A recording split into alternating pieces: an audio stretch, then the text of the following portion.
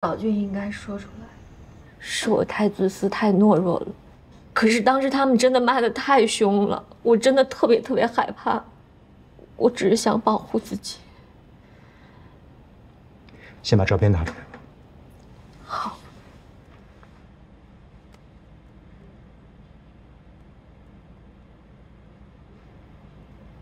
这个，我换过很多次手机。只有这张照片，我一直没有删。